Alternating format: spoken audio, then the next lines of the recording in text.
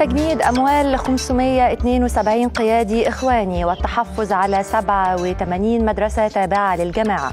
وقوات الأمن تلقي القبض على أنس نجل القيادي الإخواني محمد البلتاجي